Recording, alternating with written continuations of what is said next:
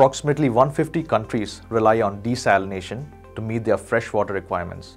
Globally, around 80 million cubic meter of potable water is being produced daily by more than 17,000 desalination plants and of these, 50% are utilizing seawater as the source.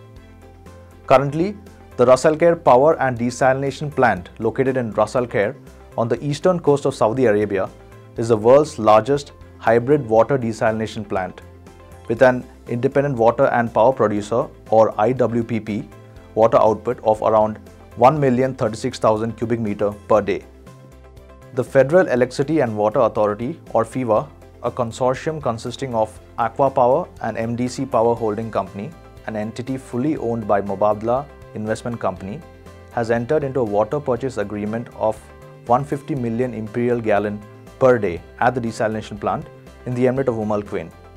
The plant will utilize seawater reverse osmosis technology.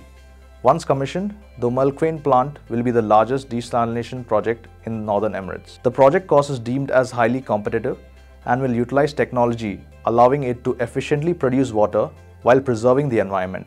Under the terms of the agreement, FEWA will hold 20% of the stake, while ACWA Power and Mubadala will each own 40%. The government of Umm will join as a partner in the project and will own a stake at a later date. Construction is expected to commence in the second half of 2019 with the initial water production scheduled in 2021. The project is part of UAE's effort to optimize water production and meet the increasing demand for water in the country. Thank you for watching FM Live on Construction Week. Don't forget to like and subscribe to our YouTube channel for all the latest in the world of facilities management and real estate.